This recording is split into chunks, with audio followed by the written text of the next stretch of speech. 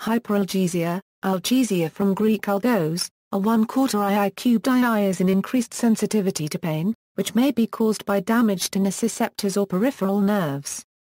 Temporary increased sensitivity to pain also occurs as part of sickness behavior, the evolved response to infection.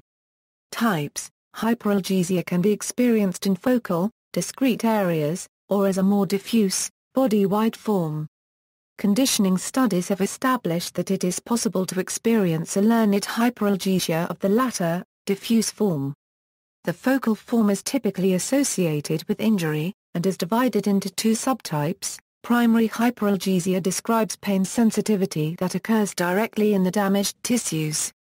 Secondary hyperalgesia describes pain sensitivity that occurs in surrounding undamaged tissues.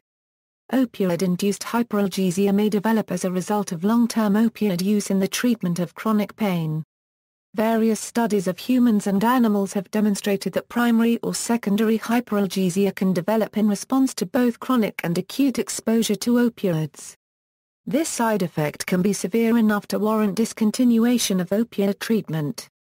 Causes Hyperalgesia is induced by platelet activating factor which comes about in an inflammatory or an allergic response. This seems to occur via immune cells interacting with the peripheral nervous system and releasing pain-producing chemicals. One unusual cause of focal hyperalgesia is platypus venom. Long-term opioid users and those on high-dose opioid medications for the treatment of chronic pain, may experience hyperalgesia and experience pain out of proportion to physical findings, which is a common cause for loss of efficacy of these medications over time. As it can be difficult to distinguish from tolerance, opioid-induced hyperalgesia is often compensated for by escalating the dose of opioid, potentially worsening the problem by further increasing sensitivity to pain.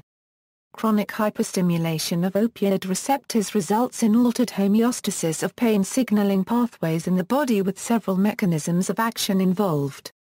One major pathway being through stimulation of the nociceptin receptor, and blocking this receptor may therefore be a means of preventing the development of hyperalgesia. Stimulation of nociceptive fibers in a pattern consistent with it from inflammation switches on a form of amplification in the spinal cord, long-term potentiation. This occurs where the pain fibers synapse to pain pathway, the periaqueductal gray. Amplification in the spinal cord may be another way of producing hyperalgesia. The release of pro-inflammatory cytokines such as interleukin-1 by activated leukocytes triggered by lipopolysaccharides, endotoxins and other signals of infection also increases pain sensitivity as part of sickness behavior, the evolved response to illness.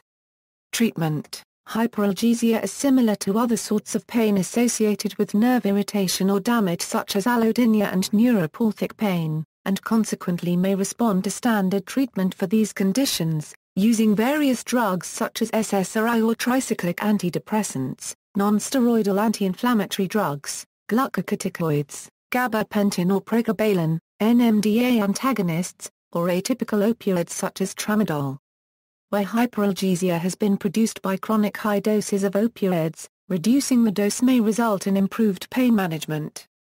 However, as with other forms of nerve dysfunction-associated pain, treatment of hyperalgesia can be clinically challenging, and finding a suitable drug or drug combination that is effective for a particular patient may require trial and error.